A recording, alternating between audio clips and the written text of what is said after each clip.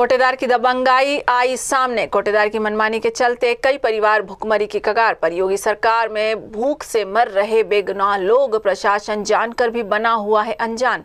दबंग कोटेदार की मनमानी का शिकार हो रही है गरीब और मासूम जनता। आपको बता दें कि ये ताज़ा मामला यूपी के सीतापुर तहसील मिश्रिक के ग्राम बिहट गोड़ का है, जहाँ पर कोटेदार की दबंगाई का ये नया मामला सामने आ रहा है, जहाँ कोटेदार की मनमानी के चलते कई परिवार भुखमरी की कगार पर है। मिली जानकारी के अनुसार एक गरीब व्यक्ति कोटेदार के यहाँ तीन साल पहले मजदूरी करने गया था, जहाँ उसे सांप ने काट लिया था, जिसके इलाज के लिए कोटेदार का एक हज़ार रुपये लगा था और पैसे की भरपाई के लिए तीन साल से गरीबों को नहीं दे रहा है ये राशन। गरीब के कहने पर कोटेदार बोलते हैं कि जब तक मेरा पैसा नहीं वसूल होगा, तब तक नहीं मिल पाएगा राशन।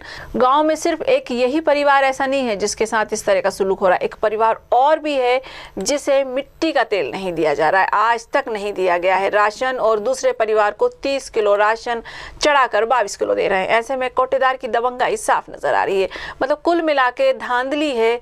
धांधली के तहत इनका अन्न और अन्य सामग्री जो जनता को प्रशासन की ओर से दी जा रही है, गरीब जनता के लिए उन्हें ये लोग खा रहे हैं। साफ़ तौर पर नज़र आ रहा है कि गरीब जनता मजदूरी करके अपने बच्चों का पेट पालती है और फिर मांग मांग कर खाने को मजबूर है, लेकिन वहीं कोटेदार अपनी तानाशाही में लगा हुआ है।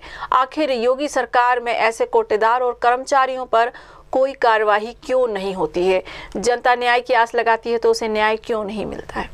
मिलता है आपको लोगों को राशन? बाईस किलो। कितने परिवार में हो लोग?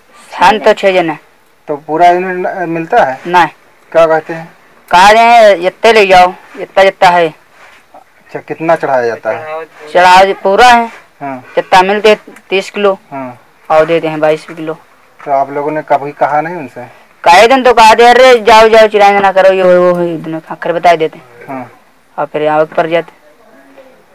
आपका नाम? उमेश। मिलते ना है तीन साल हो गए हैं। तब तक मिले ना है तो पर्ची देबो करी रन तो वार रखे लिन तब तक देबे नहीं करी। तो कोटेदार की जाति तो क्या बताओ? तो कोटेदार कहते इनके सब काटे से रहता कर अब हम देबे ना करे जले तक पैसा नहीं मार हो जाता चाहे जत्ता राशन लो हम देबे नहीं करीबा तो बेकार है जा तो नहीं भगाई दे।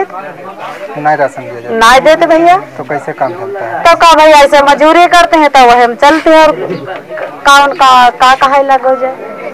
आपका नाम? अब ममता। तीन साल हाँ। बहुत गरीब हैं और वो वैसे मजदूरी करके गुजारा कर रहे हैं। तो अब क्या चाहते हैं? अब हमका राशन मिले के तेल उल कुछ नहीं मिलत है। तो कोटेदार से जाते तो क्या बताते कोटेदार का हम उनके आगे दिन मजदूरी पे गए तो हमरा सांप काट खाई से रहने के वहाँ पर हैं तो हमें इलाज करवाए तो कहते तुम हमारा पैसा दे जाओ जब तक पैसा नहीं दो तब तक तुम्हारी वो राशन नहीं मिली है। तब तक वो राशन में पैसा काट रहे हैं आपका हाँ तो ऑनलाइन कराए रहन ऑनलाइन कर पर्ची नहीं मिली रहा तो दोबारा हम धर लेन फिर देवे नहीं करें। आपका नाम? मुंशी।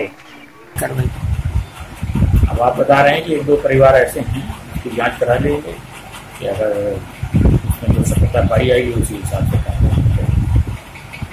सीतापुर से ये थी दीपेंद्र यादव की रिपोर्ट।